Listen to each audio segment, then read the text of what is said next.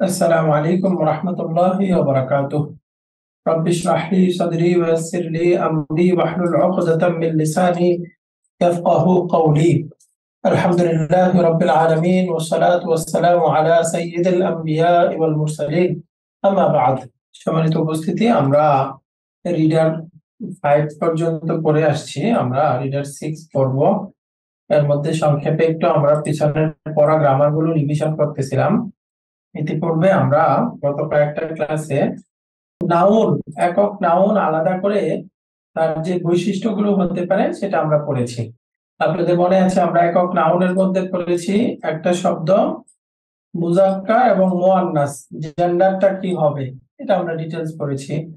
দ্বিতীয়ত, মারেফা নাকেরা definite indefinite এটা একটু পড়ার চেষ্টা করেছি। এরপরে নাম্বার, বচন সিঙ্গুলার ডুয়াল প্লুরাল কীভাবে হবে? আলহামদুলিল্লাহ, আমরা পড়েছি। সংক্ষেপে একটু এরাব বা স্ট্যাটাস এটাও করতেছিলাম পরবর্তীতে গত ক্লাসটা দুইটা ক্লাসে বরঞ্চ আমরা নাক মানুত পড়তেছিলাম। আজকে আমরা ছোট্ট আর দুইটা কনসেপ্ট পড়ব। এক নাম্বার কনসেপ্ট হলো নাউনের মধ্যে অন্যতম একটা নাউন হলো, যেটা কোরআনে এবং বাক্যে আমরা ব্যবহার পাবো, সেটা হলো ইসমুল ইশারা ইসমুল ইশারা আমরা এটা পড়েছি ডেমনস্ট্রেটিভ প্রনাউন ডেমনস্ট্রেটিভ প্রনাউন বা এটাকে আমরা পড়েছি নির্দেশক বিশেষ্য বা নির্দেশক সর্বনাম বিভিন্ন ভাবে লেখা থাকে। এটা হলো ইসমুল ইশারা। আমরা এটা জানি সবাই। এই ইসমুল ইশারা, এটা আমরা ব্যবহারের মধ্যে পড়ে আসছি দুই ভাবে হয়। একটা হলো লিল কারিব কাছে অর্থ বোঝানোর জন্য আসবে, নিকটবর্তী। কাউকে ইশারা করে কোনো জিনিসকে দেখানোর জন্য ব্যবহার হবে। এটা এই কাছেরটা আবার জেন্ডার হিসেবে মেসকিউলিন ফেমিনিন ভিন্ন ভিন্ন। আমরা গত ক্লাসে পড়তেছিলাম সিঙ্গুলার হবে হাদা ডুয়ালটা হবে হাদা, নি হাদাইনি প্লুরালটা হবে হা উলাই হাদা হাদানি হাদাইনি হা উলাই এটা হলো সিঙ্গুলার আমরা অর্থ জানি। হাদা অর্থ হলো ইহা বা এটি দিস হাদাইনি বা হাদানি এই দুটি। হা উলাই অর্থ হলো এগুলো বা এই সব। তাহলে হাদা, হাদানি, হাদাইনি। তাহলে হাদা সিঙ্গুলার ডুয়াল প্লুরাল তাহলে এখানে চেহারা দেখে আমরা বুঝে গেছি, এই যে ডুয়াল রূপটা, দ্বিবচন রূপটা মোয়ারাব আর এক বচন বহুবচন, মাবনি। সিমিলারলি এটার মুয়ান্নাস, হাদিহি, হাতানি, হাতাইনি হা উলাই হাতানি, হাতাইনি উলাই এই যে ডুয়ালটা আমরা শুধু একটু ভালো করে খেয়াল করব। ডুয়াল ডেমনস্ট্রেটিভ প্রনাউনের সবগুলোই হলো মোয়ারাব এটা ছিল কাছে বোঝানোর জন্য। জেন্ডার হিসেবে মুজাক্কার মুয়ান্নাস বেদে হাদা হাদানি হা উলাই হাদিহি হাতানি হাতাইনি হা উলাই এগুলো আমরা পড়েছি। এবার একটু দূরবর্তী কোন জিনিসকে ইশারা করার জন্য দ্যাট ওইটা বা দূরে, এটা আমরা কীভাবে পড়ব? আমরা পড়ে আসছি আগে। দূরে সিঙ্গুলার দানিকা, কিন্তু দ্বিবচনে হবে দানিকা দাইনিকা দানিকা দাইনিকা।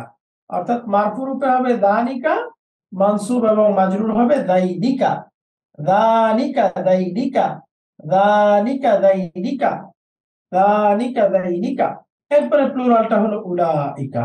দালিকা, দানিকা, দাইনিকা, উলাইকা। একইভাবে ফ্যামিলিটা হবে তিলকা। দ্বিবচনটা তানিকা, তাইনিকা। তানিকা, তাইনিকা। প্লুরালটা হলো উলাইকা তানিকা, তাইনিকা উলাইকা তানিকা, তাইনিকা উলাইকা এই হলো ব্যবহারটা, যেটা আলহামদুলিল্লাহ আমরা অলরেডি পড়েছি, শুধু দ্বিবচন শব্দগুলো হয়তো পড়া ছিল না। একটু এখানে আমরা পড়ে নিব, হাদানি, হাদাইনি, হাতানি, হাতাইনি। এই দুটো হলো মুজাক্কার মুয়ান্নাস কাছে আর দূরের জন্য দানিকা, দাইনিকা, তানিকা, তাইনিকা। এই হলো ডেমনস্ট্রেটিভ প্রনাউন শব্দগুলো।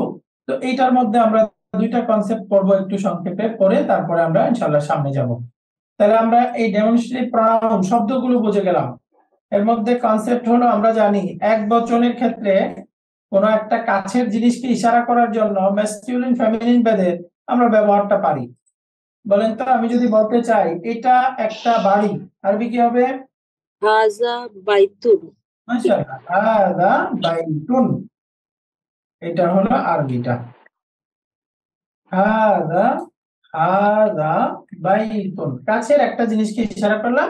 এখন দেখেন আমি বলতে চাই এই দুইটা বাড়ি এই দুইটা বাড়ি দ্বিবচনে বলতে চাই তাহলে কি হবে? হাদানি বাই বাইতানি। নাকি আচ্ছা হাদানি বাইতানি। এখন প্লুরাল আমি বহুবচনে বলতে চাই তাহলে সাধারণভাবে বোঝা যাচ্ছে বাইতান। বহুবচন কিন্তু আমার পড়া ছিল এই যে বাইতুন এই শব্দটা আকেল নাকি গায়রে? বিবেক সম্পন্ন নাকি বিবেকহীন? বিবেকহীন। তাহলে বিবেকহীন বিবেকহীন প্লুরাল গুলোকে আমরা বলেছিলাম। বিবেকহীন গ্রামাটিক্যালি এক বচন স্ত্রী এক হাজি সিঙ্গুলার ফ্যামিলি বুঝাবে। স্ত্রীবাচক লোক বোঝাবে। তাহলে দেখেন তো হা উলা এটা কি ব্যবহার করতে পারব? এই বাড়িগুলো এই বাইতি।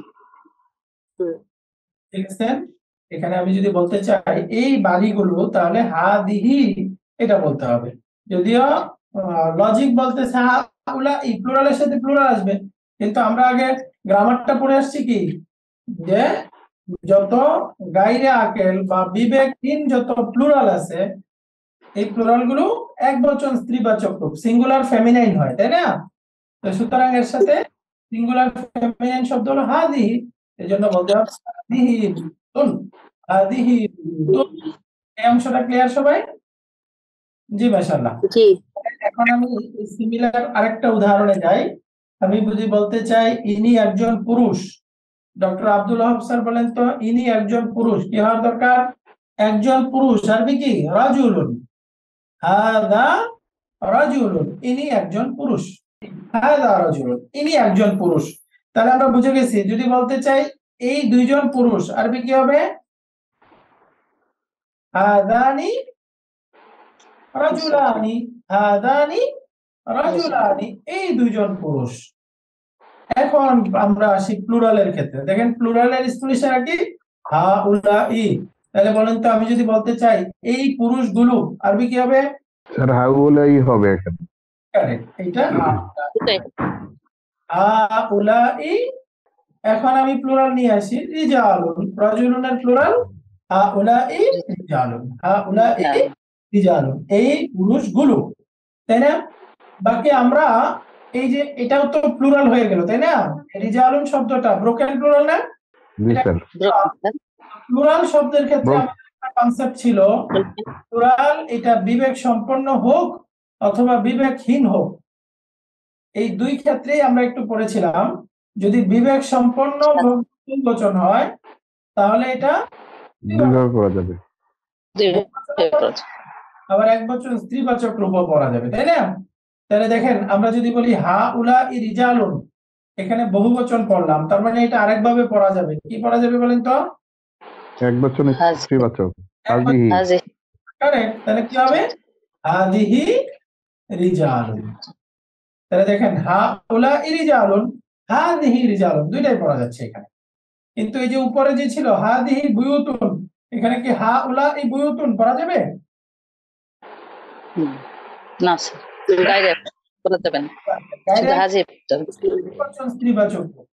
আর আকেল হলে দুই ভাবেই পড়া যায়। এক বচন স্ত্রীবাচক রূপও পড়া যায় বহু বচনও পড়া যায়। তাই না? তাহলে আমরা বুঝে গেছি আলহামদুলিল্লাহ এটা সিমিলার যদি আমরা মোয়ান্নাসে যাই মোয়ান্নাসে পারব না? এটা তো কাছের পড়লাম এবার যদি দূরে যাই দূরের উদাহরণ দিয়ে আমরা একটু পড়ি। যদি বলতে চাই এটা একটা মাদ্রাসা বলেন তো আরবি কি হবে?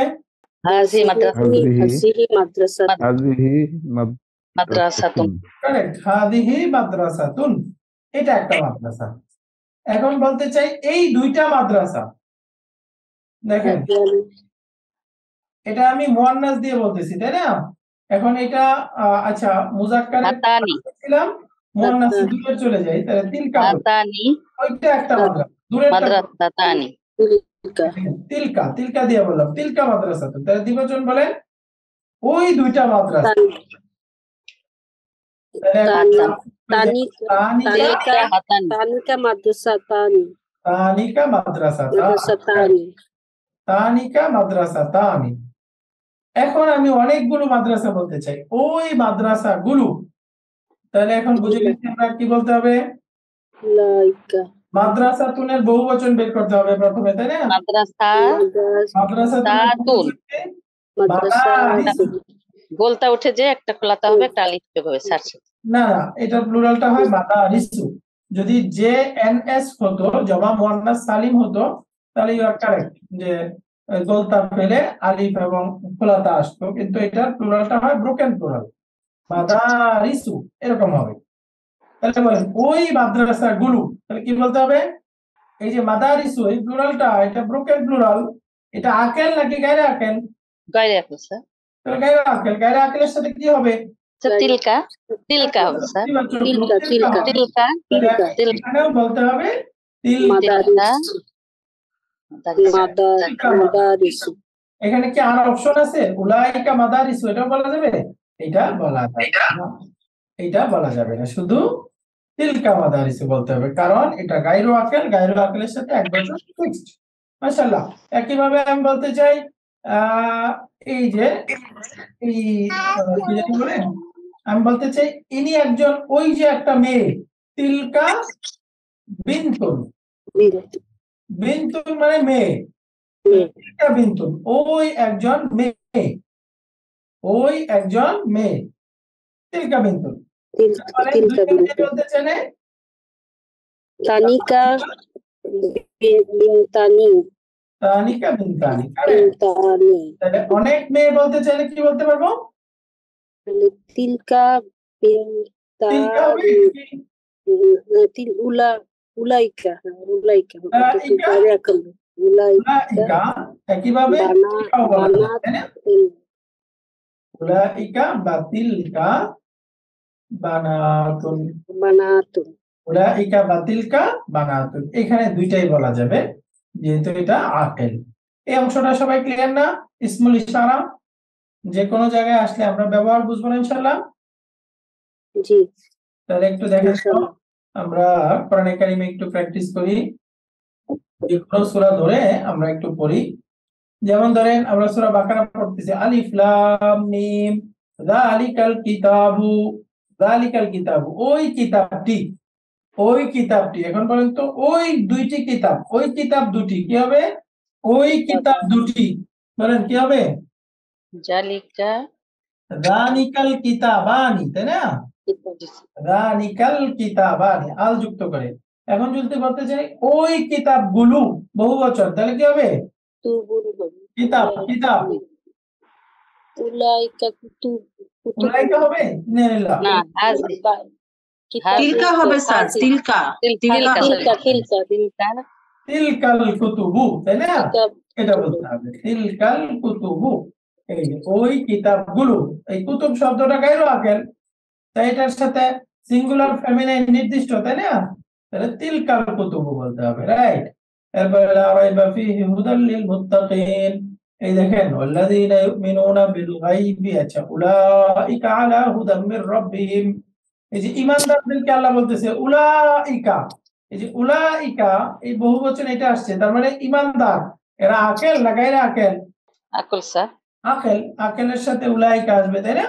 উলাইকা আলা হুদাম মির রাব্বিহিম ওয়া উলাইকা হুমুল মুফলিহুন। এই দেখেন সাকসেসফুল এদের জন্য বলতেছে উলাইকা হুমুল মুফলিহুন। তাহলে বলেন, ওই সফলকাম ব্যক্তি একজন, তাহলে কি হতো যালিকাল মুফলিহু। ওই সফলকাম দুইজন, তাহলে কি হতো যালিকাল মুফলিহানি। তাহলে অনেক সফলকাম, উলাইকা আল মুফলিহুনা। আলহামদুলিল্লাহ, তাহলে আমরা এই ডেমনস্ট্রেটিভ প্রনাউন কোরআনে কারিমেও ব্যবহার আপনারা এখন বুঝে যাবেন। তাহলে আমরা মেইন যদি গ্রামারটা বলি তাহলে এক বচন দ্বিবচন এখানে কোনো কথা নাই। যে নাউন এক বচন, দুই বচন, যার সাথে যেটা মিলিয়ে ব্যবহার করতে হবে। প্লুরালে যাওয়ার পরে একটু কথা আছে, এই প্লুরালে এগুলো শুধুমাত্র আকেলের সাথে ব্যবহার হবে। আ, উলাই, উলাইকা। গায়রে আকেল বলে কি করতে হবে? এক বচন স্ত্রীবাচক রূপ ব্যবহার করতে হবে। হা, উলা, এর জায়গায় হাদিহি আর উলাইকার জায়গায় তিলকা। উলাইকার জায়গায় তিলকা, তাই না? এই গ্রামারটা এটা সবাই ক্লিয়ার এই ডেমনস্ট্রেটিভ প্রোনাউন এটা ক্লিয়ার সবাই? আলহামদুলিল্লাহ। এখন আমরা আরেকটা জিনিস পড়ব, যেটা আপনারা স্যারের সাথে পড়ে আসছেন, মুদাফুন মুদাফুন ইলাইহি। এটা আমরা ডিটেইলস পড়েছি, মুদাফুন মুদাফুন ইলাইহি। এটা রিডার বুক ওয়ানেই আমরা পড়েছি, মুদাফ মুদাফ ইলাই। এর মধ্যে আপনাদের আশা করি কারোর কোনো ডাউট নাই। এটা সংক্ষেপে একটু দেখায়, আমরা সামনে চলে যাব। মুদাফ মানে পজেসড যে নাউনটা অধিকারস্থ হয়। আর মুদাফ ইলাই মানে অধিকারী পজেসর যে অধিকারী হয়, তাই না? আমরা এটা ডিটেলস করেছি এই মুদাফ মুদাফ ইলাইয়ের মধ্যে সহজ কথা হলো, মুদাফটা একটা নাউন হবে, মুদাফ ইলাইটা আরেকটা নাউন হবে।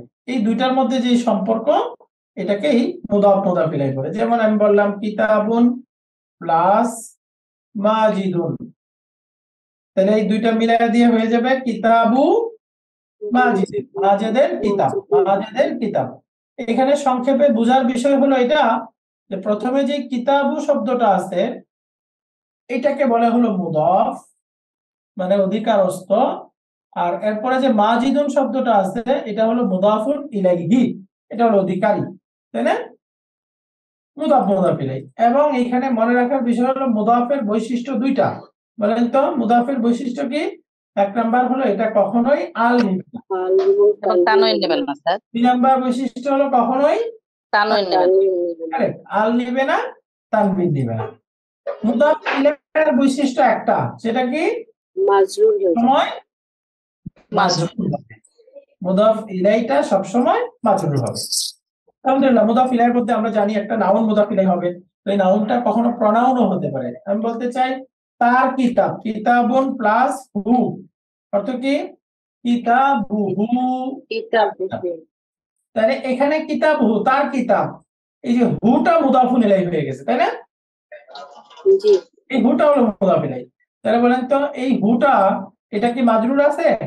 স্যার স্ট্রাকচার পরিবর্তন মাজরুর। কিন্তু মাবনির জন্য চেহারা পরিবর্তন হবে না। বাট এটা হ্যাঁ, মাজরুর অবশ্যই মাজরুর আছে। বাকি এটা যেহেতু মাবনি এই জন্য মাবনি সেটা চেহারার মধ্যে কোনো পরিবর্তন হচ্ছে না। আনচেঞ্জেবল রূপে আছে। আলহামদুলিল্লাহ এই মুদাফ মুদাফিলে আমরা জানি সংক্ষেপে এখন আমাদের একটু বুঝতে হবে। বাকি সামনে আমরা গিয়ে পাবো যে মুদাফ ইলাইহিটা এই যে এখানে যেরকম একটা নাউন দেখতেছি নাউন ছাড়া অনেক সময় একটা বাক্য মুদাফ ইলাই হতে পারে। একটা সম্পূর্ণ বাক্য মুদাফিলাই হতে পারে। এটা আমরা সামনে পড়ব। যেমন দেখেন, সংক্ষেপে আমি একটা উদাহরণ দেখাই। নাউন এবং প্রনাউন হলে তো আমরা বুঝবোই, তাই না? এই যে এরকমই থাকবে ম্যাক্সিমাম বাকি অনেক সময় একটা বাক্যও হতে পারে। এই বাক্যের আগে এই যে আমরা দুইটা শব্দের মধ্যে মুদাফ মুদাফিলের সম্পর্ক সহজ বুঝে গেলাম। বাকি একাধিক তিনটা শব্দের মধ্যে যদি হয়, তাহলে আমরা কীভাবে করব? যেমন দেখেন, একটা শব্দ হলো মালিকুন। আর একটা শব্দ হলো ইয়াউমুন আর একটা শব্দ হলো দিনুন, তাই না? মালিক মানে মালিক, ইয়াউমুন মানে দিন, আর দিনুন মানে জীবন ব্যবস্থা বা বিচারের দিন। এই তিনটা শব্দ, এই তিনটা শব্দকে আমি মুদাফ মুদাফিরের সম্পর্ক বানাতে চাচ্ছি। তাহলে প্রথমে আমরা সরল অঙ্কের মতো শেষের দিক থেকে একটু করে আসি। দেখেন, ইয়াউমুন আর দিনুন, এই দুটা শব্দকে একত্রিত করেন। তাহলে আমি শুরুতে এই যে এটাকে তিনটাকে নিয়ে নেই। এই যে ইয়াউমুন প্লাস দিনুন এখানে আমি প্লাস উঠায় দিলাম সরল অঙ্কের মতো। তাহলে এই দুইটাকে মিলায় দেন।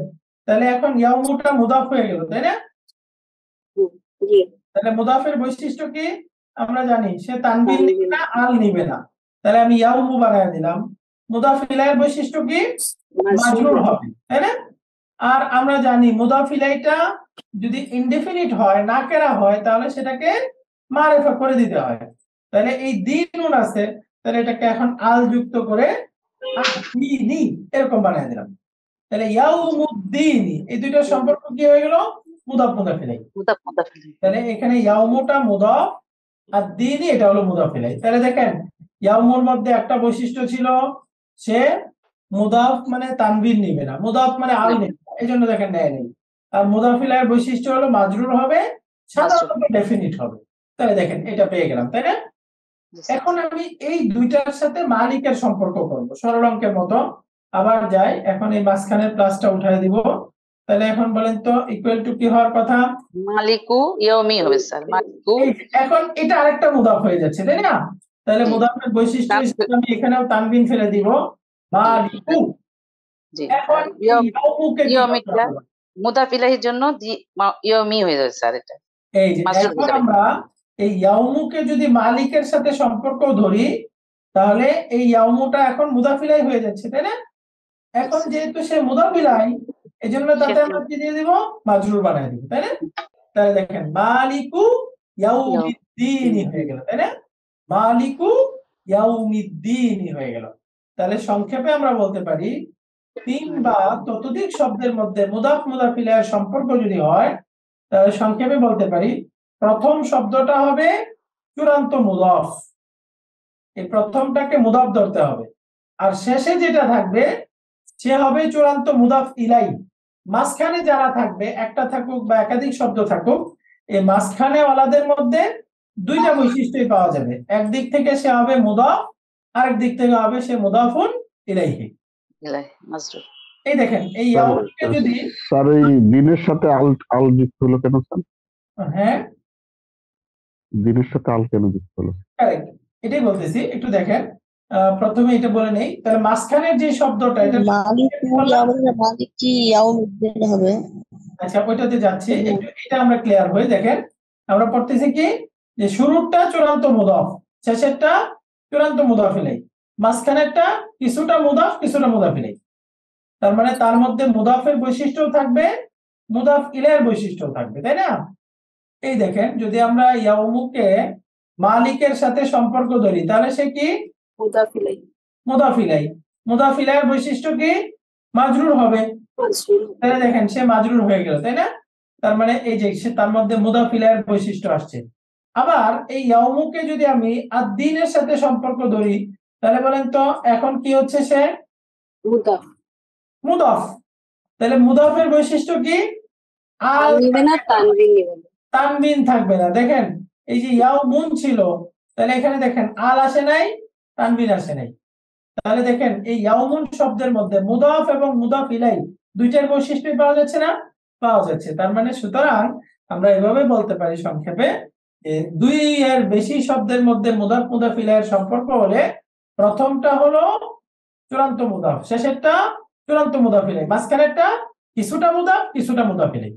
আমাদের আজকের ভলেন্টিয়ারদের মধ্যে একজন বলেন তো এই যে এখানে যে কনসেপ্টটা পড়লাম দুইয়ের অধিক শব্দের মধ্যে মুদাফ মুদাফিলের সম্পর্ক বানাতে চাইলে কি মনে রাখব? প্রথমটা বলেন প্রথমটা প্রথমটা মুদাফ। চূড়ান্ত মুদাফ। অর্থাৎ এটা শুধু মুদাফ মুদাফের বৈশিষ্ট্য। থাকে। আর শেষেরটা?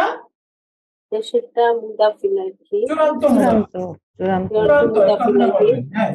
আর মাঝখানেরটা কিছুটা মুদাফ কিছুটা মুদাফিলাই কিছুটা মুদাফ কিছুটা মুদাফিলাই অর্থাৎ তার সাথে দুইটা বিবেচনা আছে। আগের সাথে বিবেচনা করলে সে মুদাফিলাই পরের সাথে বিবেচনা করলে সে মুদাফ। তার মানে এর মধ্যে মুদাফ এবং মুদাফিলাই দুইটারই বৈশিষ্ট্য থাকবে। ক্লিয়ার এটা সবাই? না স্যার যে আল কেন যুক্ত হলো এটা ক্লিয়ার না। আচ্ছা এখানে এখন একটা প্রশ্ন আসছে আল কেন যুক্ত হলো? এটার আর কারোর প্রশ্ন আছে? এই প্রশ্নটা খুব গুরুত্বপূর্ণ প্রশ্ন আমরা মনে রাখব। মুদাফ ইলাইটা সবসময় আর যদিও আমি ভলেন্টিয়ার না তারপরে এটা কি মালিকু ইয়াউমিদ্দিন? মুদাফ মুদাফিল এটা মালিক ইয়াউমিদ্দিন এই হবে কি না স্যার? না ওইটা যাচ্ছি ওটা আরেকটা ডাউট এই আমরা সূরার মধ্যে যে মালিকি পড়ি এটা ওটা ডাউট ওটাতে যাচ্ছি।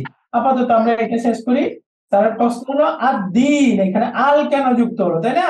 শব্দ হচ্ছে শুধু দিনুন আল কেন যুক্ত হলো? দেখেন নর্মালি হলো আমরা জানি মুদাফ ইলাইটা ninety nine percent nine definite হবে। সুতরাং দুইটা ইনডেফিনিট শব্দের মধ্যে যদি মুদাফ মুদাফিলার সম্পর্ক করি, তাহলে মুদাফ ইলাইটাকে ডেফিনিট বানায় দিব আমরা। যেমন ধরেন, একটা শব্দ হলো রব্বুন প্লাস নাসুন, অর্থ কি মানুষের রব। তাহলে এখন আমি কি বলব? রব্বু নাসিন নাকি রব্বুন নাসি? এই দেখেন, এই নর্মালি হওয়ার কথা রব্বু নাসিন, কিন্তু মুদাফিলা এটা নাইনটি নাইন পার্সেন্ট নাইন মনে রাখবেন যে ডেফিনিট হবে। তো সুতরাং যদি মুদাফিলা এটা ইনডিফিনিট শব্দ হয়, তাহলে ডেফিনিট বানায় দিতে হবে আল যুক্ত করে দিতে হবে। রব্বুন নাসি, এরকম করতে হবে। সেম এখানে দেখেন, ইয়াউমুন প্লাস দিন তাহলে কি করতে হবে? আল যুক্ত করে দিব। ইয়াউমুদ্দিন, বিচারের দিন। তাহলে বলেন, আমি যদি বলতে চাই ঘরের দরজা, তাহলে আরবি কি? বাবুন প্লাস বাইতুন। তাই না? ঘরের দরজা তাহলে কি বলবেন? বাবু বাইতিন বাবুল বাইবুল আর যুক্ত করে দিতে হবে না? বাবুল বাইত এরকম বলতে হবে। বাকি যদি আমি বাক্যটা এরকম বলি বাবু বাইতিন এটাও কারেক্ট আছে বাকি এটার ব্যবহার হবেই না প্রায়। বাবু বাইতিন এটাও কারেক্ট একটি ঘরের একটি দরজা তখন এটা অর্থ হবে। বাকি এভাবে নাকের অবস্থায় কেউ বলে না। এটার প্রয়োজন পড়বে একেবারে সামান্য, হবেই না প্রায়, কোনো ব্যবহার পাবেনই না, হঠাৎ এক দুইটা থাকতে পারে। তার মানে নাকেরা শব্দ মুদাফিলাই হলে এটাকে ডেফিনিট বানায় দিতে হবে। এই জন্য এখানে দেখেন আর দিন হয়ে গেছে, তাই না? বিচারের দিনের মালিক, এই যে বিচারের দিনটা নির্দিষ্ট না, এই জন্য এটাকে নির্দিষ্ট করে দেওয়া হয়েছে। তা ক্লিয়ার আলহামদুলিল্লাহ, এখন দেখেন আরেকটা ডাউট যেটা আসছে, যে মালিকু আমরা পড়ি, তাহলে এখানে মালিকি হলো কেন, তাই না? আমরা একটা কনসেপ্ট পড়েছিলাম, নাত মানহুত নাত মানুতের মধ্যে নাতটা কি? মানুতের জন্য হান্ড্রেড পার্সেন্ট ফলোয়ার হবে, তাই না? নাতটা তার মানুষকে হান্ড্রেড পার্সেন্ট ফলো করবে না? কোন কোন ক্ষেত্রে বলেন তো? এক নাম্বার হলো জেন্ডার মুজাক্কার, মুয়ান্নাস ম্যাসকুলিন ফেমিনিন মিল থাকতে হবে। দুই নাম্বার আমরা জানি নাম্বার নাম্বারের ক্ষেত্রে মিল থাকতে হবে। সিঙ্গুলার ডুয়াল প্লুরাল মিল থাকতে হবে। তিন নাম্বার? ডেফিনিট ডেফিনিট ইনডিফিনিট মিল থাকতে হবে রাইট চার নাম্বার? এরাবের মিল থাকতে হবে তাই না? যেটা আমরা সংক্ষেপে পড়ি গানি জেন্ডার আর্টিকেল নাম্বার এরাব এই চারটার ক্ষেত্রে মিল থাকতে হবে তাই না? এই যে এই পড়াটা মনে রাখার পরে। আচ্ছা এখানে আমরা জানি যে মাউসুফ সিফাতের মধ্যেও মিল থাকতে হয়। বাদাল মুবদালের মধ্যেও মিল থাকতে হয় এই হান্ড্রেড পার্সেন্ট তাই না? তাহলে এখন যাই আমরা সূরাতুল ফাতিহাতে আলহামদুলিল্লাহি রাব্বিল আলামিন সমস্ত প্রশংসা আল্লাহর জন্য সমস্ত প্রশংসা এবং কৃতজ্ঞতা আল্লাহ তাআলার জন্য দেখেন লিল্লাহি এই শব্দটা কি আছে? যার মাজরুর যার মাজরুর মাজরুর আছে তাই না? আল্লাহ আল্লাহ আছে তাহলে এটা মাজরুর আছে না? জি স্যার। তাহলে এটা হলো মানহুত এই দেখেন একটা নাথ হলো রাব্বিল আলামিন রাব্বি। এটা হলো নাত। তাহলে নাতটা মানহুতের কি হবে? ফলোয়ার হবে। এরাবগত ভাবে দেখেন রাব্বি হয়ে গেছে তাই না? মাজরুর হয়ে গেছে। তাহলে রাব্বিটা মাজরুর হলো কেন? আল্লাহকে ফলো মানুষকে ফলো করে। কারেক্ট তাহলে এটা মাজরুর হলো। একইভাবে আর রহমান এটা হলো দুই নাম্বার নাথ তাহলে এটাও মাজরুর হলো কেন? আল্লাহকে ফলো করে। মানুষকে ফলো করে তাই না?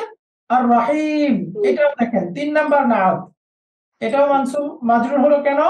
আল্লাহকে ফলো আল্লাহকে করে এই যে মালিকি এটা হলো চার নাম্বার নাত তাহলে বলেন মালিকি মাজরুর হলো মালিকি কাসরা হলো কেন? আল্লাহকে ফলো আল্লাহকে ফলো করে বুঝে গেছে? এই যে পূর্বের লিল্লাহি এটা হলো মানউদ তার চারটা নাত এখানে আসছে। এক নাম্বার হলো রাব্বি এই দেখেন এটা মাজরুর আছে। দুই নাম্বার হলো আর রহমানি এটাও মাজরুর আছে। তিন নাম্বার আর রাহিমি মাজরুর আছে মালিকি মাজরুর আছে। বুঝতে পারছেন? বাকি আমরা বুঝে গেছি ইয়াউমি আদ-দীনি এই দুইটার মাজরুরের কারণ কি আল্লাহকে ফলো করা? না। এই ইয়াউমিটা মালিকের মুদাফ। এই কারণে মাজরুর। আদ-দীনিটা ইয়াউমির মুদাফিলাই এই কারণে মাজরুর তাই না? আল আলামিনা এটাও মাজরুর আছে। এটা মাজরুর হয়েছে কেন? এটা কি আল্লাহকে ফলো করে?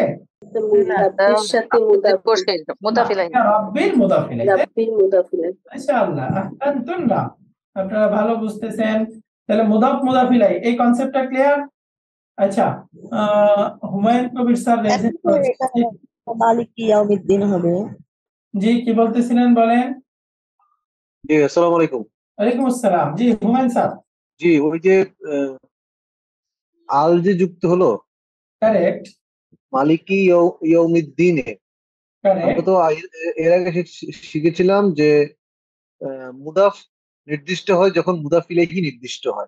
কারেক্ট মানে মুদাফ কখন নির্দিষ্ট? যখন মুদাফ ইলাইহি নির্দিষ্ট হয়। এখানে আমি এখানে আপনি যেটা বললেন যে আপনি মুদাফিলাইটাকে নাইনটি নাইন পার্সেন্ট ক্ষেত্রে নির্দিষ্ট মানে হয়ে থাকে বলে এটাকে আল আল দিয়ে দিচ্ছেন বা মানে নির্দিষ্ট করে দিচ্ছেন।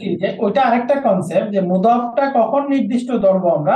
যদি মুদাফিলাই নির্দিষ্ট এটা একটা কনসেপ্ট বাকি আরেকটা কনসেপ্ট হলো মুদাফিলাই ninety nine percent nine nine নির্দিষ্ট হবে। সুতরাং দুইটা নাকেরা শব্দের মধ্যে মুদাফ মুদাফিলাই সম্পর্ক করলে পরেরটাকে নির্দিষ্ট করে দিতে হবে আল যুক্ত করে। রব্বু নাসিন এরকম বলবে না কি বলতে হবে? রব্বুন নাসি তাহলে ইয়াউমুন দিনুন এই দুইটার সম্পর্ক করলে কি হবে? ইয়াউমুদ্দিনই বুঝতে পারছেন? আচ্ছা তার মানে এটা একটা এটা একটা রুলস হিসেবে আমরা ধরে নিব। হ্যাঁ এটা রুলস হিসেবে ধরে নেব। কারণ মুদাফিলাইটা নির্দিষ্টই হবে। হঠাৎ কোনো এক জায়গায় পাইতে পারেন যে মুদাফিলাইটা অনির্দিষ্ট। মুদাফিলাই অনির্দিষ্ট হলে মুদাফটা তখন অনির্দিষ্ট থাকবে। এটা হঠাৎ থাকবে। হঠাৎ। নাইন পার্সেন্ট নাইন নাইন আমরা পাবো মুদাফিলাই নির্দিষ্ট। হয়তো প্রপার নাউন হিসেবে অথবা প্রনাউন হিসেবে অথবা আলযুক্ত হিসেবে। জি থ্যাংক ইউ স্যার শুকরিয়া। জাযাকুমুল্লাহ খায়ের আচ্ছা তাহলে আমরা এখানে দুইটা কনসেপ্ট পড়ে ফেললাম। ইসমুল ইশারা ডেমনস্ট্রেটিভ প্রনাউন এটা কীভাবে ব্যবহার হবে? দুই নম্বর মুদাফ মুদাফিলাই কীভাবে ব্যবহার হবে? এই অংশটা সবাই ক্লিয়ার আলহামদুলিল্লাহ। এবার বাদাল মুবদাল মিনহু এটাকে আমরা আগে পড়েছিলাম বাদাল মুবদাল। রিডার বুক ওয়ানে। আমরা এবং বাদাল এভাবে পড়েছিলাম তাই না? মুবদাল এবং বাদাল এখানে একটু সংক্ষেপে বলেছি আমরা। আসলে গ্রামাটিক্যাল টার্মটা হলো মুবদাল মিনহু প্লাস বাদাল বাদাল। মুবদাল মিনহু প্লাস বাদাল স্যারের সাথে খুব সুন্দরভাবে পড়েছি। মুবদাল মিনহু বাদাল মানে হলো দুইটা একই জিনিস বুঝাবে তাই না? দুই শব্দ দ্বারা একই সত্তা বুঝাবে। যেমন আমি বলতেছি হাদাল কিতাবু। অর্থ কি? এই যে আল যুক্ত করে দিছি তাহলে অর্থ কি? হাদাল। কিতাবু দিস বুক এই ফেসবুক তাই না? এই বইটি। এখন আমি বললাম আমি এই বইটি কিনেছি। আমি এই বইটি কিনেছি। এখন যদি শুধু এটা বলি যে আমি এটা কিনেছি এটা অর্থাৎ ইশারা করে একটা বই আমার হাতে আছে আমি বললাম আমি এই বইটা কিনছি। এখন এই বইটা না বলে শুধু যদি বলি আমি এইটা কিনেছি ইশারা করে দেখাতে থাকি তাহলে একই জিনিস বুঝাবে না? একই জিনিস বুঝাবে? একইভাবে যদি আমি হাদা বাদ দিয়ে বলি ইস্তারাইতুল কিতাবা বইটা কিনেছি বুঝাবে না? যেমন ধরেন ইস্তারাইতু এটার অর্থ হলো আমি কিনেছি। ইস্তারাইতু অর্থ হলো আমি কিনেছি। এখন যদি আমি বলি আমি এই বইটা কিনেছি দেখেন ইস্তারাইতু হাদাল কিতাবু হবে নাকি কিতাবা? নাজাল কিতাবা হয়ে গেল। তাহলে এটা মানসুব হবে না?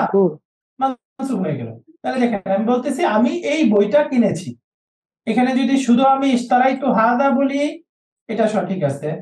ইস্তারাইতুল কিতাবা বলি এটাও সঠিক আছে তাই না? তার মানে এই যে এই হাদা যাহা আর কিতাবু তাহাই। স্যারের সাথে পারতাম না? হাদা যা কিতাব তাই। তাই না? এই বলে? বাদাল মুক্তার মিন্ন এটাকে বাদাল মিন্ন অর্থাৎ এই দুইটা একই জিনিস। হাজা এবং আল কিতাব দুইটা সিমিলার সত্তা। একইভাবে আমরা এটা, এটার আরেকটা ক্রাইটেরিয়া পড়েছি টাইপ পড়েছি। যেমন আমি বললাম আমি বললাম যা আ যা আ মানে এসেছে। আহুকা মাজিদুন তোমার ভাই মাজেদ এসেছে তোমার ভাই মাজেদ এসেছে তাহলে আহুকা মাজিদুন দুইটা দুই ব্যক্তি নাকি একই ব্যক্তি? আচ্ছা একই ব্যক্তি স্যার। তোমার ভাই যিনি মাজেদ তিনি তাই না? যদি আমি শুধু বলি আহুকা তাহলে এটাও ঠিক আছে।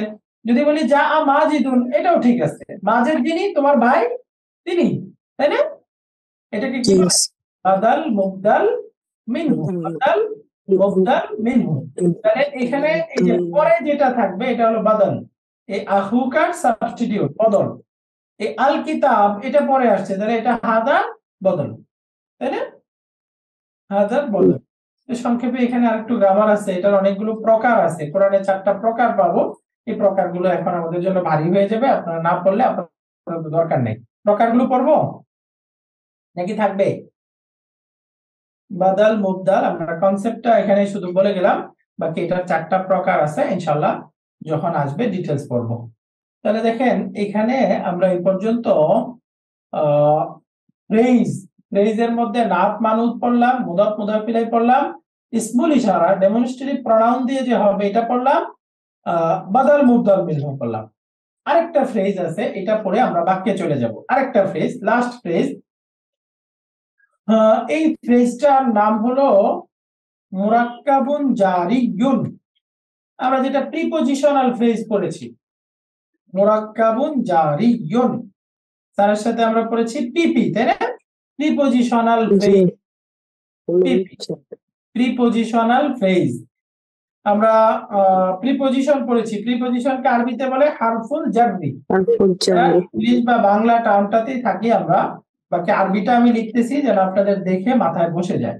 হারফুল জাররি মানে প্রিপোজিশন তাই না? প্রিপোজিশন প্রিপোজিশন কোরআনে আমরা ব্যবহার হয়েছে বারোটা বাকি আরবি ভাষায় আছে সতেরোটা আমরা জানি তাই না? তাও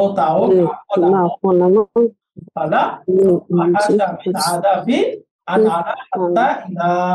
এরকম সতেরোটা আরবি ভাষায় আছে বাকি কোরআনে ব্যবহার হয়েছে হলো সাতটা। আপনারা জানেন বা বা অর্থ কি? মানে বি তাই না? বি বি, বি, বা বি। সাথে বা দ্বারা তাই না?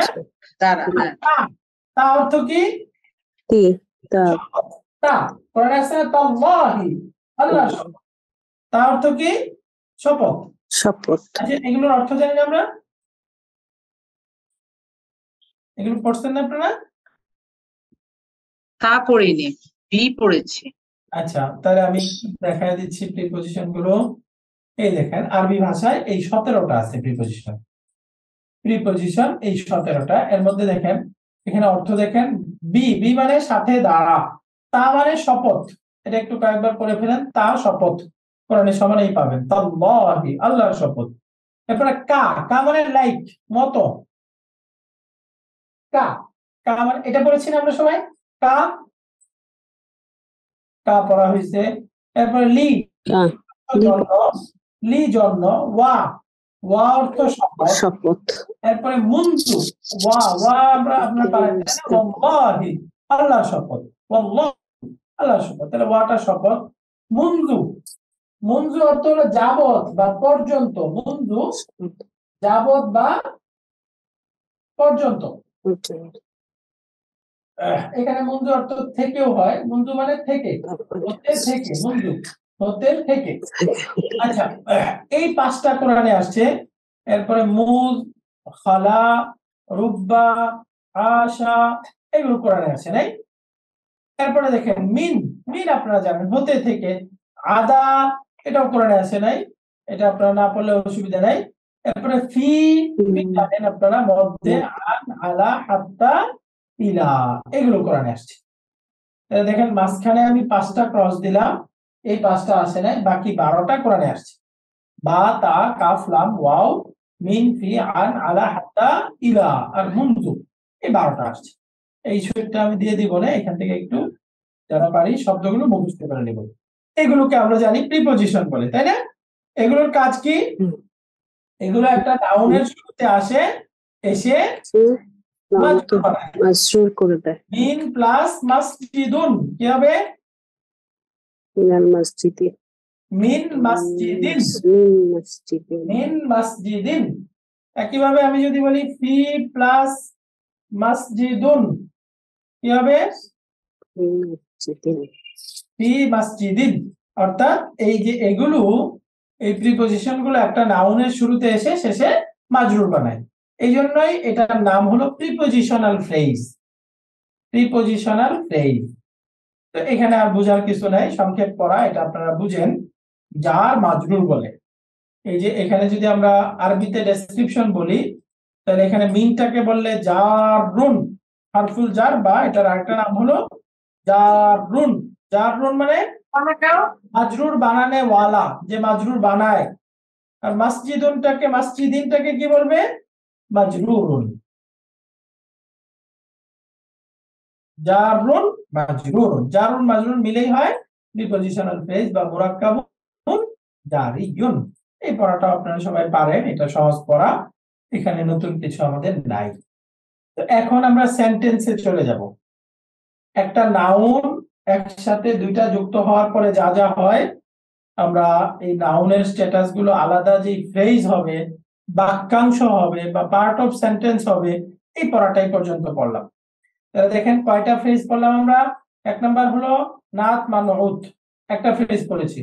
দুই নাম্বার পড়লাম মুদাফ মুদাফুন ইলাইহি।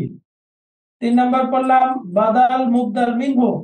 চার নাম্বার পড়লাম মুরাক্কাবুন জারিয়ুন পাঁচ নাম্বার ডেমনস্ট্রেটিভ প্রনাউন সহ কীভাবে ব্যবহার হবে? এই যে এই পাঁচটা ফ্রেজ আলহামদুলিল্লাহ আমরা পড়েছি। এখন আমরা সেন্টেন্সে যাব। পূর্ণ সেন্টেন্সে ডেমনস্ট্রেটিভ প্রনাউনে যদিও সেন্টেন্সের একটা বার ছিল বাকি আমরা এখন সেন্টেন্সে যাব। সেন্টেন্স কে আরবিতে বলে জুমলাতুন। সেন্টেন্স আরবি কি? জুমলাতুন। সেন্টেন্স আরবি হলো জুমলা। জুমলা। জুমলা মানে সেন্টেন্স কারেক্ট এই সেন্টেন্সটা আরবিতে দুই প্রকার। সেন্টেন্স আরবিতে কত প্রকার? দুই প্রকার। দুই প্রকার। দুই প্রকার। এক নাম্বার প্রকার হলো জুমলাতুন ইসমিয়াতুন। জুমলাতুন ইসমিয়াতুন। জুমলাতুন ইসমিয়া মানে যেটা আমরা পড়েছি নমিনাল সেন্টেন্স জুমলাতুন ইসমিয়াতুন। জুমলাতুন ইসমিয়া মানে নমিনাল সেন্টেন্স স্যারের সাথে আপনারা ডেফিনেশন পড়েছেন। তার মনে আছে বলেন তো জুমলাতুন ইসমিয়া কাকে বলে? যেই বাক্যটা দ্বারা শুরু হবে তাই না? যে বাক্যটা ইসিম দ্বারা শুরু হবে এই বাক্যটাকে জুমলাতুল ইসমিয়া বলে তাই না? এই এই ডেফিনেশনটা সবাই পারি না? জুমলাতুল ইসমিয়া কি? যেটা নাউন দ্বারা শুরু হবে যে বাক্যটা শুরুতেই নাউন থাকবে এটাকে জুমলাতুল ইসমিয়া বলে। আপনারা জানেন জুমলাতুল ইসমিয়ার কনস্ট্রাকশনটা হলো শুরুতে থাকবে সাবজেক্ট তারপরে থাকবে প্রেডিকেট সাবজেক্ট প্রেডিকেট সাবজেক্টকে আরবিতে বলে মুক্তাদা মুক্তাদা মুবতাদাউন আর প্রেডিকেটটাকে আরবিতে বলে? খবরন খাবার। আপনারা পড়েছেন। মুক্তাদা খবর। কনস্ট্রাকশনটা সহজ। মুক্তাদা খবর। মুক্তাদা খবর। জি মাশাআল্লাহ। রেইজ হ্যান্ড করেছেন। কামরুল হাসান। সালাম জি আলাইকুম জি আসসালামু আলাইকুম। ওয়ালাইকুম আসসালাম।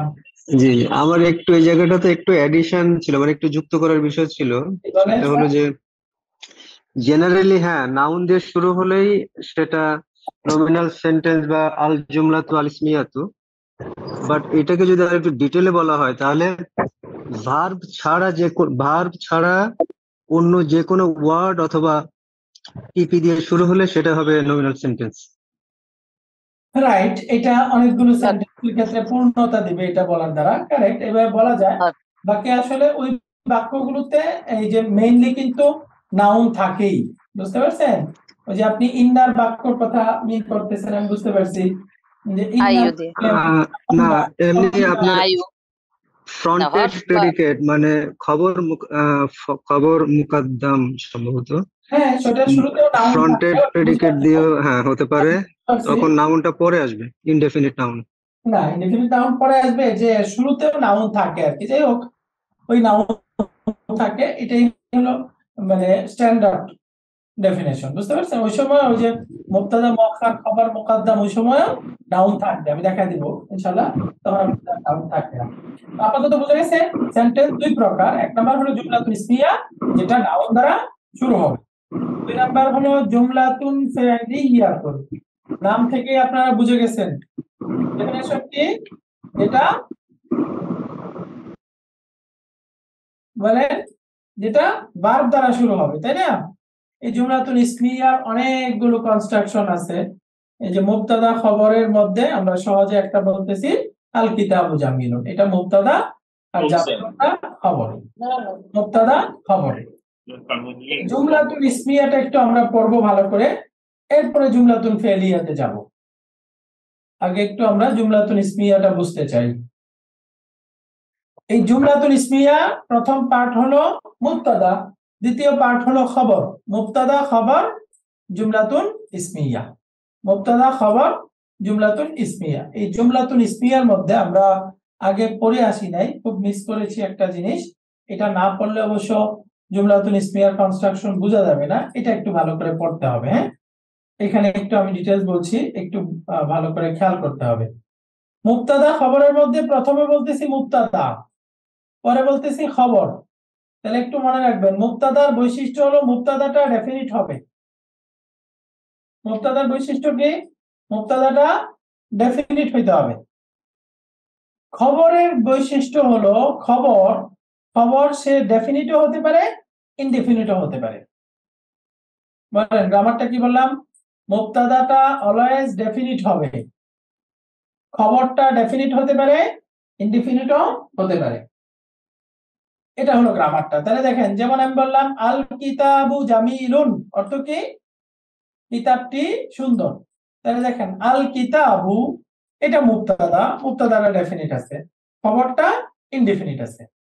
তাহলে বললাম মুক্তাদা স্যার এখানে যদি আমি কিতাবুন জামিলুন বলতাম হ্যাঁ। সেটা কি সেন্টেন্স হতো স্যার? না ওটা সেন্টেন্স হতো না। ওইটা আমরা নাত মানত পরে আসছি না। ওইটা হতো। এই দেখেন জামিলুন একটি সুন্দর কিতাব। একটি সুন্দর কিতাব। সেন্টেন্স মানে হলো যেটা শ্রোতা সেখান থেকে পরিপূর্ণ ফায়দা পাবে। যেমন দেখেন যদি আমি বলি দ্য বুক ইজ বিউটিফুল বইটি সুন্দর। দেখেন এটা বলার পরে শ্রোতা একটা পূর্ণাঙ্গ ফায়দা পাচ্ছে। যদি আমি বলি একটা সুন্দর বই একটা সুন্দর বই একটা সুন্দর বই শ্রোতা কি এখান থেকে কিছু বুঝতে পারছে? মানে একটা সুন্দর বই, কি হয়েছে কিছু বোঝা যাচ্ছে না, তাই না? এখন যদি বলি একটা সুন্দর বই আমার কাছে আছে, বুঝা গেল। একটা সুন্দর বই আমি কিনবো, বুঝা গেছে। একটা সুন্দর বই তোমাকে দিতে চাই, বুঝা গেল। একটা সুন্দর বই, তারপরে একটা কিছু বলতে হবে। শুধু একটা সুন্দর বই বললে কিছু বুঝে যাচ্ছে না। কিন্তু যদি এটা বলি, বইটি সুন্দর, তাহলে বইটা সম্পর্কে একটা স্টেটমেন্ট দেওয়া হচ্ছে। তার মানে সেন্টেন্সটা পূর্ণাঙ্গ হলো। বুঝতে পারছেন ব্যাপারটা? এই যে কিতাবুন জামিলুন, এটা কেন পূর্ণাঙ্গ না? ধরেন আমি রাস্তার মোড়ে দাঁড়িয়ে বলতেছি, একটা সুন্দর বই, একটা সুন্দর বই, একটা সুন্দর বই। মানুষ আমাকে পাগল বলবে না? বলবে কি বলে এটা? কি হয়েছে? একটা সুন্দর বই কি হয়েছে? এখন সে এসে জিজ্ঞাসা করলে, আমি যদি বলি, একটা সুন্দর বই আমার কাছে আছে? এখন সে বুঝতে পারল কিছু। কিন্তু শুধু যদি বলি, একটা সুন্দর বই কিছুই বুঝবে না। কিন্তু যদি এটা বলতে থাকি, বইটা সুন্দর বইটা সুন্দর, সে কিন্তু বুঝবে। বইটা সম্পর্কে আমি একটা তথ্য দিচ্ছি একটা স্টেটমেন্ট দিচ্ছি। বুঝা গেল স্যার? কেন পূর্ণাঙ্গ কেন পূর্ণাঙ্গ না? জি স্যার। জি আলহামদুলিল্লাহ। তাহলে আমরা জুমলাতুল ইসমিয়ার মধ্যে বলতেছিলাম মুক্তাদাটা ডেফিনিট হবে খবরটা ডেফিনিট ইনডেফিনিট দুটেই হতে পারে বাকি আহ, অধিকাংশ ক্ষেত্রে খবরটা ইনডেফিনিট হবে। অধিকাংশ ক্ষেত্রে খবরটা ইনডেফিনিট হবে। তাহলে দেখেন মুক্তাদা ডেফিনিট খবরটা ইনডেফিনিট এরকম আমরা কতগুলো উদাহরণ করি মুক্তাদা ডেফিনিটের এক নাম্বার আল দিয়ে বললাম দুই নাম্বার প্রপার নাউন দিয়ে বলি। যেমন আমি বললাম মাজিদুন আলিমুন। অর্থ কি হবে? বলেন অর্থ কি? মসজিদ জ্ঞান। মাজেদ একজন আলেম তাই না? মাজেদ একজন আলেম। তাহলে একজন আমি বলতে চাই আয়েশা একজন জ্ঞানী মহিলা তাহলে কি হবে? আয়েশা তু আলিমাতুন। আলিমাতুন কারেক্ট তাহলে দেখেন মুক্তাদা ডেফিনিট খবরটা ইনডেফিনিট তাহলে এখানে আমি দুই নাম্বার উদাহরণটা পেলাম প্রপার নাউন দিয়ে। একইভাবে এটা আমরা প্রনাউন দিয়েও বলতে পারি তাই না? বলেন তো যদি আমি বলতে চাই সে একজন জ্ঞানী ব্যক্তি কি হবে? হুয়া? আলিমুন। আলিমুন মাশাআল্লাহ। এখন এটা আপনি এই মুয়ান্নাসের ক্ষেত্রে বলেন সে একজন জ্ঞানী মহিলা কি হবে? হিয়া আলিমাতুন। হিয়া আলিমাত তাহলে আমরা তিন নাম্বার কনস্ট্রাকশন পেলাম এটা। এক নাম্বার আল দিয়ে দুই নাম্বার প্রপার নাউন দিয়ে তিন নাম্বার কি বলে প্রনাউন দিয়ে তাই না? সেম এটা আমরা ডেমনস্ট্রেটিভ প্রনাউন দিয়েও বলতে পারি তাই না? আমি বলতে চাই হাদা আলিমুন। তিনি একজন জ্ঞানী ব্যক্তি। বলা যাচ্ছে না? হাদা আলিমুন। এখন এটা মহিলার ক্ষেত্রে বলেন তো কি হবে? হাজিহি। হাদিহি হাদিহি হ্যাঁ তাহলে আমরা এই চারটা সুরত নির্দিষ্ট ভাবে বলতে পারব তাই না? এই চারটা স্বাভাবিক ব্যবহার। বাকি এরপরে ইসমুল মাউসুল আছে। ইসমুল মাউসুলটা আমরা পরে আসছি ডেফিনিট ওইটা মাঝখানে আসে এই জন্য ওইটা আমরা আপাতত রাখলাম। তাহলে মুক্তাদা ডেফিনিট দেখেন, আমরা আল যুক্ত করে বলতে পারি প্রপার নাউন হিসেবে বলতে পারি প্রনাউন দিয়ে বলতে পারি, আবার ইসমুল ইশারা বা ডেমনস্ট্রেটিভ প্রনাউন দিয়েও বলতে পারি। মুক্তাদা খবরের মধ্যে আপনারা জানেন একটা গ্রামার আছে, মুক্তাদা এবং খবর দুইটাই মারফু হবে। এবং খবর? দুইটাই মারফু হবে। তাহলে দেখেন, যখন আমরা নরমালি পড়তেছি, মুক্তাদা খবর, দুইটাই মারফু ক্লিয়ার এখানেও দুইটাই মারফু ক্লিয়ার কিন্তু যখন আমি স্মুল ইশারা বা প্রনাউনে যাচ্ছি তখন দেখেন, এখানে মারফুটা দেখা যাচ্ছে না। হুয়া, এটা মারফু আছে, কিন্তু এটা হলো এস্টিমেটেড মারফু। হাদা, এটাও মারফু আছে, কিন্তু মারফুটা কি? মাবনি হওয়ার কারণে দেখা যাচ্ছে না। এটা এস্টিমেটেড মারফু এই পর্যন্ত গ্রামার সবাই ক্লিয়ার মুক্তাদাটা ডেফিনিট হবে, খবরটা ডেফিনিট ইনডিফিনিট দুইটাই হতে পারে। বাকি অধিকাংশ ক্ষেত্রে খবরটা ইনডিফিনিট হবে এবং মুক্তাদা খবর দুইটাই মারফু হবে। এই কনসেপ্টটা ক্লিয়ার কিনা? আলহামদুলিল্লাহ, এটা ক্লিয়ার হলে হুমায়ুন স্যার রেজ হ্যান্ড করেছেন। আমি জাস্ট সময় দিচ্ছি। আমি খবরটা যে বললাম ডেফিনিট ইনডিফিনিট দুইটাই হতে পারে। এটার একটা উদাহরণ দিয়ে আমি সামনে আপনার প্রশ্নটা নিচ্ছি। খবরটা দেখেন ডেফিনিটের একটা উদাহরণ দেই। যেমন আমরা কোরআন একাডেমি পড়ি না? সমাদ, অর্থ কি? আল্লাহু, আল্লাহ সুবহানাহু ওয়া তাআলা as-সামাদ মানে অমুখাপেক্ষী আল্লাহ সুবহানাহু ওয়া তাআলা অমুখাপেক্ষী তাহলে দেখেন আল্লাহু সামাদু আল্লাহ মুবতাদা as-সামাদু এটা হলো খবর। তাহলে বলেন তো খবরটা এখানে ডেফিনিট নাকি ইনডেফিনিট ডেফিনেট স্যার ডেফিনিট তার মানে বোঝা গেল এই দেখেন পূর্বোক্ত সবগুলো বাক্যে খবরটা ছিল ইনডিফিনিট তার মানে খবরটা নরমালি ডেফিনিট ইনডিফিনিট দুইটাই হতে পারে বাকি বেশিরভাগ হবে কি? ইনডিফিনিট বাকি কিছু ব্যবহার পাবে খবরটা ডেফিনিট হতে পারে খবরটা ডেফিনিট হতে যেমন আল্লাহ সমাদ একইভাবে আমরা যদি বলি আল্লাহ সুবহানাহু তাআলা আমাদের রব আরবি কি হবে বলেন তো? আল্লাহু রব্বুনা আল্লাহু রব্বুনা আল্লাহ আমাদের রব আল্লাহ সুবহানাহু তাআলা আমাদের রব। তাহলে বলেন তো রব্বুনা এটা হলো খবর। তাহলে এটা ডেফিনিট নাকি ইনডিফিনিট ডেফিনেট স্যার এটা ডেফিনিট কেন? যে মুদাফিলে এটা ডেফিনিট সেজন্য রব এটা ডেফিনিট রাইট আহসানতি তাহলে দেখেন এখানে আমরা পেয়ে গেলাম যে খবরটা ডেফিনিটও হতে পারে। বাকি সাধারণত খবরটা ইনডিফিনিট হবে। ডেফিনিটও হতে পারে। আলহামদুলিল্লাহ তাহলে আজকে আমরা জুমলাতুল ইসমিয়া পার্ট শুরু করলাম। জুমলাতুল ইসমিয়াতে তিনটা কথা বললাম। এক নাম্বার জুমলাতুল ইসমিয়ার কনস্ট্রাকশন মুক্তাদা এবং খবর এবং দুইটাই অলওয়েজ মারফু হবে। এক নাম্বার কথা।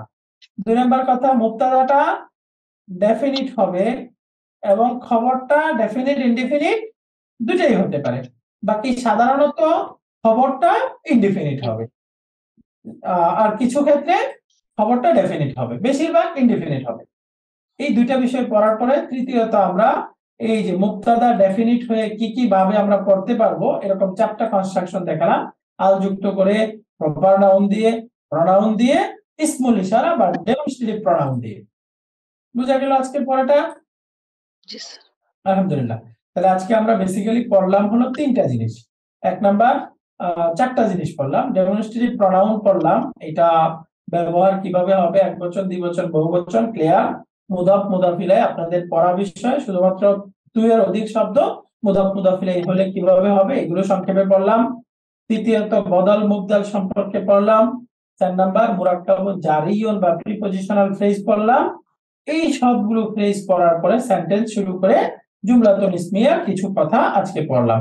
জুমলাতুল ইসমিয়ার আরেকটা ইম্পর্টেন্ট পার্ট আছে এটা ইনশাআল্লাহ আগামী ক্লাসে আমরা পড়ব। জি স্যার আসসালামু আলাইকুম। ওয়ালাইকুম আসসালাম ওয়া রাহমাতুল্লাহি ওয়া বারাকাতুহু। জি স্যার। এটা স্ক্রিনটা লাগবে স্যার। আচ্ছা স্ক্রিনটা লাগবে সরি জি স্যার।